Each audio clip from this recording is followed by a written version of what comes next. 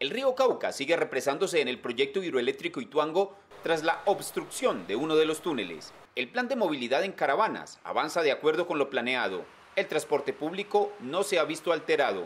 En estos momentos el tráfico ha sido totalmente normal, con un poco de retraso en, la entrada a la, a la presa, pero se ha prestado el servicio en los horarios que teníamos habituales.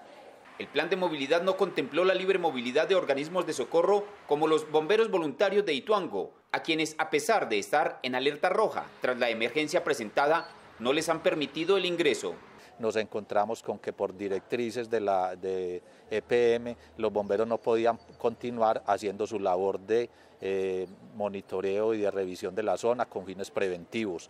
La madera talada en las laderas del río Cauca se sigue acumulando en las bases del muro principal en la hidroeléctrica Ituango, mientras que el embalsamiento prematuro sigue tapando vías, incluso las que estaban utilizando para la construcción final de la presa.